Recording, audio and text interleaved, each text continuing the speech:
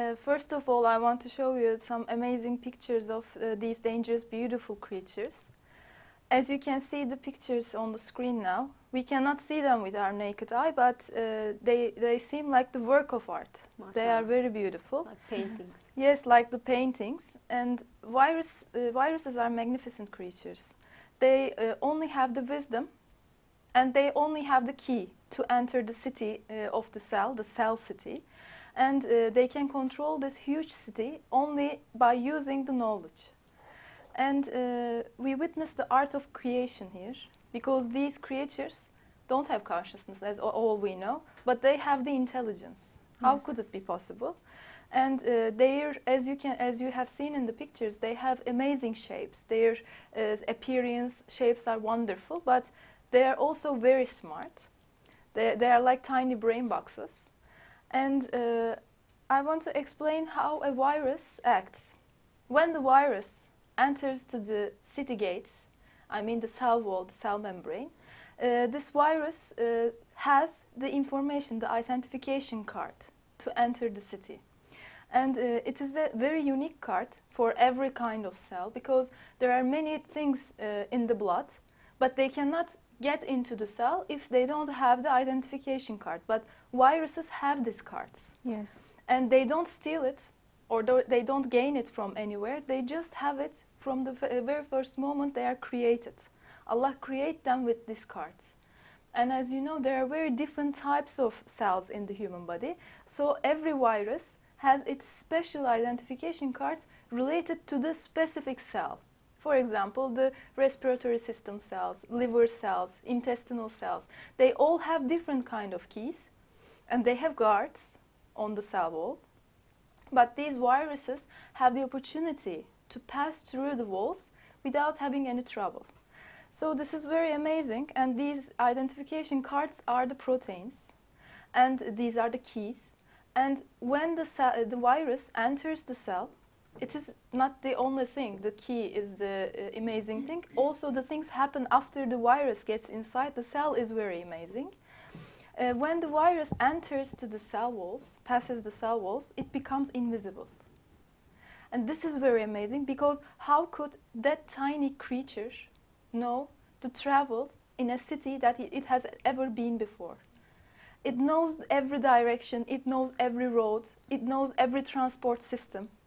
And when it enters to the cell, to the city, every transport system, the very uh, fast speed uh, railways, everything gets under control of it, helps it to reach to the center of the cell. It's like it has a chart made uh, Yes. previously, so uh, it uh, knows where to go and how to act. And- it is wonderful. He, he, he said uh, he has a plan how to do this and where to go. Mashallah. And also its plan is so amazing that the cell contains many factories, many power stations, uh, many systems in it, but the virus directly goes to the heart of the cell, to the DNA, to the nucleus. It does not go to the ribosomes, it does not go to the mitochondria or endoplasmic reticulum, it directly goes to the, uh, completely goes to the heart of the cell, the nucleus. Yes. And it is also very amazing because according to Cell, the city, the, uh, the city is very big for the virus. But virus, as you said, knows everything because it has a plan. And when the virus reaches to the DNA, you know that nucleus is always under protection with a special second wall. Uh, the regular, the common workers cannot pass through this wall. Only the ones who has business, who have relation with the DNA can reach, g- get through these ba- boundaries. But viruses, somehow like VIP, very easily pass through the nucleus. Uh, nucleus can reach to the nuclear membrane and pass it without any trouble. They act like forgers. Yes. and uh, when the virus gets inside the nucleus, then it starts to uh, do its business. You know, there are 3 billion letters in the DNA and so many letters, but somehow these tiny viruses, although you know the people are making the uh, gene projects, ge- genome projects, they're trying to understand what is written in the DNA, these viruses somehow know what is written in the DNA in every kind of cell in the DNA mm-hmm. and it knows the DNA and in these 3 billion letters it knows which letters, which genes are commonly used. Yes. Because there are many genes in the DNA, but some of them are producing protein regularly and very fast way. But some of the genes don't produce protein so regularly, so much. But commonly used genes are the ones that are used most. So the virus chooses these genes and adds its pieces, its codes back to these genes and make the manufacturers, make the uh, fabric, uh, factories produce its proteins, its own produce, uh, its own proteins, very fastly. And when you think about it, this is very amazing because someone enters a city, don't goes to the factories, don't goes to the any kind of other places, manufacturers, tailors, Yes. goes directly to the heart, goes directly to the center that controls all of them, and makes them produce its own proteins, makes them use everything is under its control now and cell the city, all the guards in the city, they are unaware of it. They don't know it, that they do it. And it does not have guns, it does not have money, it does not even have clothes, it just have the knowledge. It just have the, the intelligence that Allah created in it. And by this way, at the end, some uh, cells burst. They explode because of the number of the viruses so much increase inside the Yes. cell and finally they can cause very serious diseases. And uh, now I want to show you the pictures again. And I want you to think about these things while looking at these pictures now. The first picture you see is the adenovirus, it is called. And it looks like a jewel. And it Yes. is very, very beautiful. Its uh, shape is called uh, icosahedral. And uh, it is the generally cause upper respiratory in, uh, infections in the children and also in adults. And it has a single layered DNA in it. That's all. Yes. And this DNA is enough for it to produce, uh, to, it has the keys for the respiratory cells to enter the respiratory cells, not the uh, other kind, liver cells, for example. It just have the correct kind of keys. The second one is the Ebola virus. It is a very famous virus, and it has r- RNA, not even DNA, and it has a special gene in it to trans, uh, to turn RNA to DNA Yes. and then add it to the the cell's DNA's backside, and then make it produced. And uh, I don't know if you know, Ebola is a very famous virus, and it is very dangerous because it targets the immune cells and the liver cells this time. Not the respiratory cells, but the liver cells. So how it, uh, it recognizes on the Yes. first place Place. uh, which cells are uh, It's liver cells targets, and yes, yes, uh, which cells are the target? And it is Ebola, miracle. Ebola is a very serious uh, virus, serious diseases it causes. Uh, it is uh, also the assume that it has been first appeared in the pig, yes. and then it transmitted to the people through air, to the other animals, and Very then to people through air. It is very serious disease, and um, it can cause death very easily. And the third one, the other picture, it's the well-known HIV virus, human immune deficiency virus. Mhm. And uh, you know, everybody knows what HIV does to people. It generally targets the immune cells, and then it causes generally death. So there are many people in the world suffering from its diseases. And the fourth uh, picture is the influenza A virus, and this is the uh, bird flu. You remember maybe? Mhm, yes. This is the one. This was very famous uh, recently, and it has it has been causing some respiratory diseases and different kind of diseases in birds and also some of the mammals and also in human. It's uh, some kind of it cause it. Fifth one is the uh, rotavirus, you see, and an E. uh, E. coli bacteria with it. The tiny orange ones are the viruses. And it can cause uh, diarrhea among infants and young children. And uh, it is very amazing that by the age of five, there is no one generally in the world that don't have this rotavirus. We generally, everybody has been met with rotavirus. And uh, the sixth one is the SARS uh, coronavirus. And SARS is also a very well serious disease. It has been very uh, famous recently. It causes the severe acute uh, respiratory syndrome, something like that.